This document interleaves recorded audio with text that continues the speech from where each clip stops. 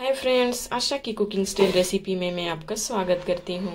आज मैं आपके साथ शेयर करने वाली हूँ प्याज और टमाटर का चटनी, जो इडली और डोसे के साथ खाया जाता है।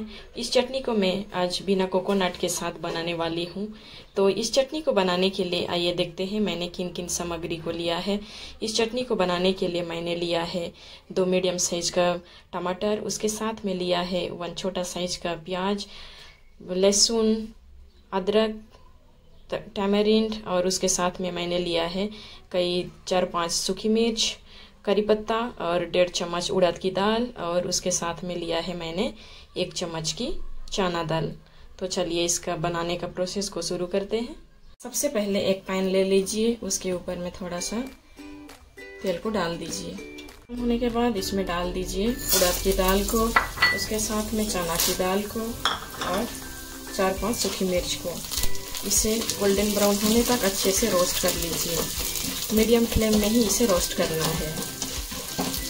जैसे ही गोल्डन ब्राउन हो जाता है, इसमें डाल देना है प्याज को, लहसुन को और छोटा टुकड़ा अदरक को। उसके साथ में डाल देना है टमाटर। इसे भी मीडियम फ्लेम में अच्छे से सोटे कर लेना टमाटर का सॉफ्ट होने तक हमें इसे सोटे करना है। टमाटर को अच्छे से सॉफ्ट होने देना है। जब ये अच्छे से सॉफ्ट हो जाएगा, उसके बाद ब्लेंड करने से ये चटनी खाने में बहुत ही स्वादिष्ट लगेगा। दो तीन मिनट के बाद ये अच्छे से सॉफ्ट हो चुका है। अब हम इसे निकाल के थोड़ी देर के लिए इसको ठंड होने के लिए रख देते हैं। ये ठंड हो चुका है, अब हम इसे ब्लेंड कर लेते हैं। ब्लेंडिंग करने के लिए यहाँ पे ले लेना है एक मिक्सी का जार। मिक्सी का जार के अंदर में ये सारे प्याज टमाटर सबको डाल देना है। हम इसे डाल के अच्छे से ब्लेंड कर लेंगे। ब्लेंड करने से पहले नमक स्वाद अनुसार इसमें डाल देना है। उसके साथ में थोड़ा सा खट्टा चटनी को टेस्ट देने के लिए यहाँ पे मैं छोटा सा टमारिन को ली हूँ। इमली अब हम इसे अच्छे से ब्लेंड कर लेते हैं। चटनी में थोड़ा सा पानी डालना है ताकि ये जो चटनी है, हमारा अच्छे से ब्लेंड हो जाए।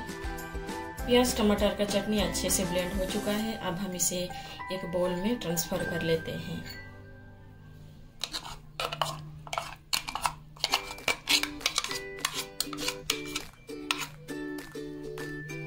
चटनी का स्मूथ सा पेस्ट हमने तैयार कर लिया है। अब है बारी इसको टेम्परिंग करने का।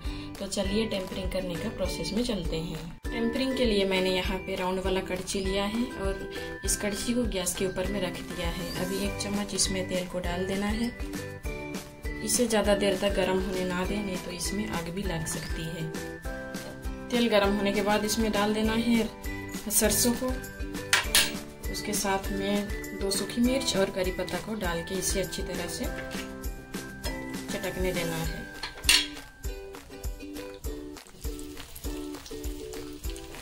इसे डाल देना है